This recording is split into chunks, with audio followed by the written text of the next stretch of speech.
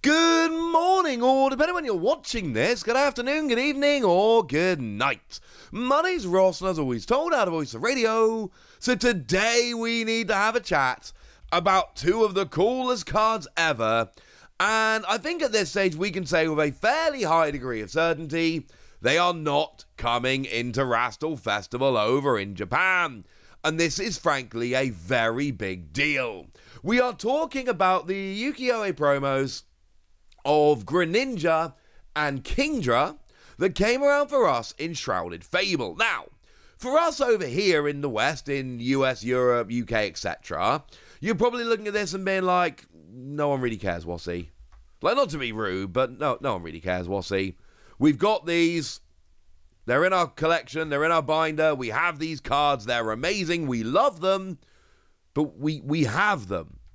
We bought the illustration collections, and I also did buy these. That's a lie.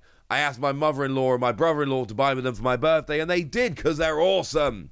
And now I have these, which is wonderful because I said it at the time, and I'm very honest with you guys. I told you these are two of the coolest promo cards we've ever seen. I meant it. When I'm here telling you that cards or products, etc., are incredibly cool, are incredibly special, and all of that, and when I'm recommending you pick this stuff up, I'm doing the same thing. So these are just absolutely stunning. But they didn't come out in Japan. And that led to a, a pretty awkward situation where we're sitting here trying to figure out, well, what, what, what's the deal here? Are they coming to Japan? How are they coming out in Japan? And the answer is we haven't had an answer.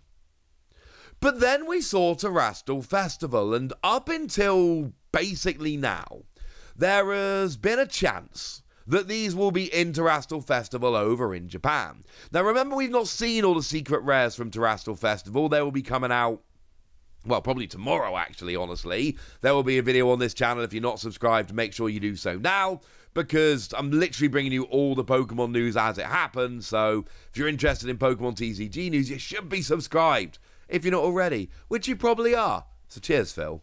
But the point is, there was always a chance it was coming in Terastal Festival because Japan uses this as an opportunity to catch up basically.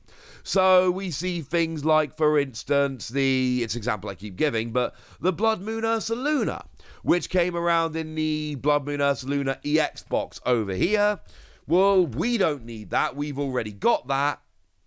But Japan is getting it in Terastal Festival because, well, they need to get it. It makes sense that it will pop up over here. Japan uses this as a little bit of a catch up set which makes perfect sense. So we've got these two absolutely amazing promos, bearing in mind they are done in a traditional Japanese art style. So you would think they would be the kind of cards that would make their way over to Japan. Well, they're not coming in Terastal Festival. And I'm not saying that because we know all of the secret rares from Terastal Festival. I'm saying that because over in Hong Kong and Taiwan, they have gone and revealed Terastal Festival properly. We know basically everything we need to know, and we know that it is, to all intents and purposes, identical to Japan's Terastal Festival. You know, even if you go on the website where they reveal all of this stuff, we can see it right there. They're revealing the same cards in the same way and all of that. And this is very, very important because we know 100% for an absolute fact that they are not Terastal Festival in Hong Kong and Taiwan. And we know this because they literally already revealed them. They are a promo, or they are in a promo pack over in Hong Kong and Taiwan. They've already revealed this. So we know, we know that they are not turning up in Hong Kong and Taiwan in Terastal Festival. And if they're not turning up in Hong Kong and Taiwan in Terastal Festival, and Hong Kong and Taiwan's Terastal Festival is the same as Japan's. We'll put those two facts together, ladies and gentlemen. Japan's not getting these in Terastal Festival. It's, it's, not, it's not happening. And then we're left with this, and we'll get more to the, we'll get into the promo pack in a minute. I promise you, it's really cool. I'm going to show you. It's going to be great. But for the time being, we need to talk about the fact that we're not wh- why is Japan not getting this? In what world is Japan not getting this promo? And don't think Japan gets everything, because they don't. And there are some obvious ones that Japan's not getting. Like the Van Gogh Pikachu, Pikachu with grey felt hat. Well, yeah, that was a promo card for the opening of the Van Gogh Museum. Obviously, Japan was never getting that. Uh, Pikachu on the ball, which was an English FA promo. Yeah, obviously, Japan's not getting that. That was never happening. These cards are obvious that they're never being released over in Japan because they're super specific, and frankly, why would they be? But then there are some less obvious ones. A couple of examples that I've given you over the years the pre release Tapu Lele from Lost Thunder, and the pre release Kangaskhan that came around in Darkness Ablaze. They're both relevant for me because the artwork is done by Heiga Nasuke, who is my second favourite artist doing work in the Pokemon TCG. But it's relevant for this particular discussion because over in Japan, those cards don't exist. I collect Heiga Nasuke cards. I don't have Japanese versions of these cards, and it's not because they're massively expensive or anything silly like that. It's because they literally don't exist. There is no Japanese version of these two cards. It's just not a thing. So this happens more than you might think that Japan just does not get these promo cards. If you want a more recent example, Infernape. Infernape was a pre release promo over in Twilight Masquerade, yet it's not in Terastal Festival. This is what I tell you guys all the time. Japan gets some of the pre release promos in their end of year special sets. They don't get them all. They're just not getting the Infernape pre release promo. Which, yes, is a little bit weird. Why are they not getting Infernape? Don't know. Are they getting a bunch of pre release promos in this set? Yes.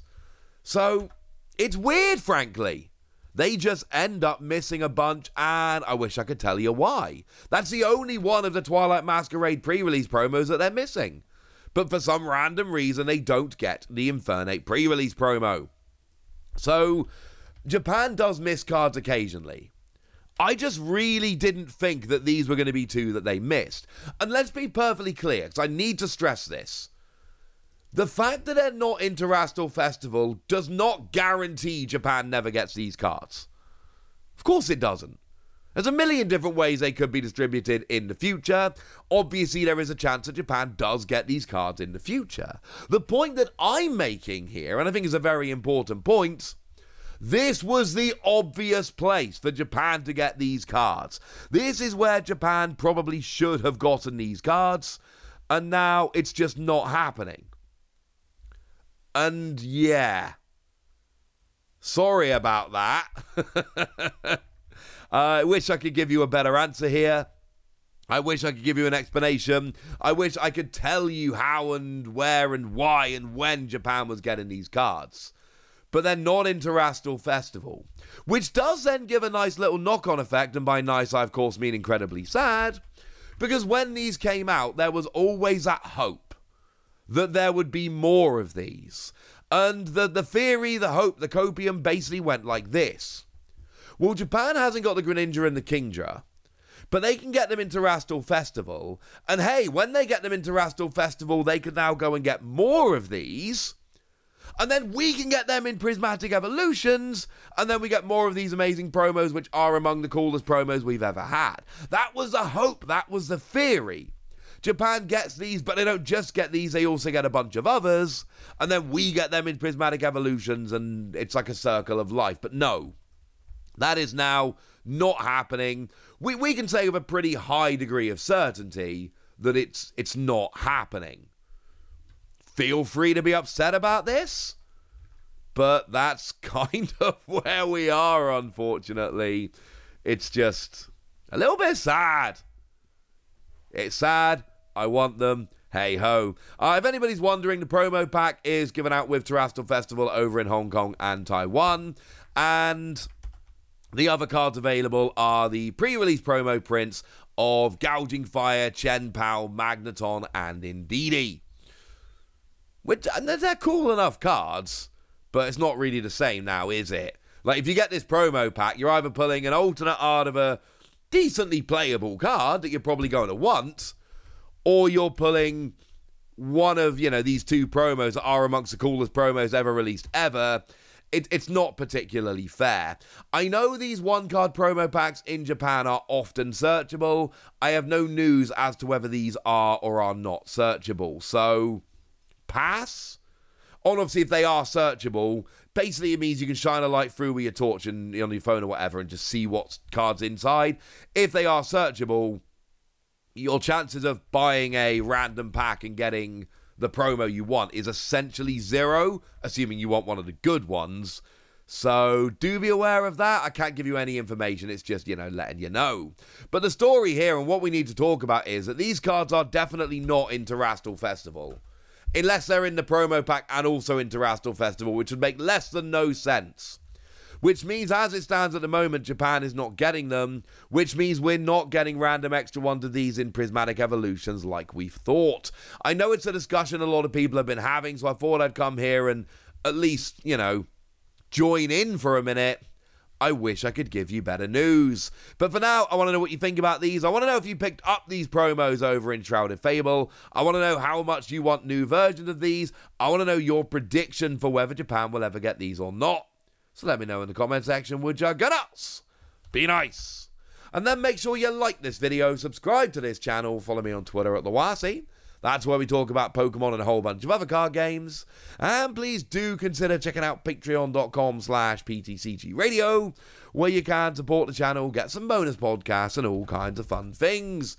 And of course, get shoutouts on the channel, like the lovely Canto Royalty, who's been a supporter of ours for a while now and is a very lovely person. So shout out to them for the support and the loveliness. But by far the most important thing, as always, Look after yourselves till next time, would ya? Thank you very much for watching. My name's Ross, and you've been watching PTCG Radio.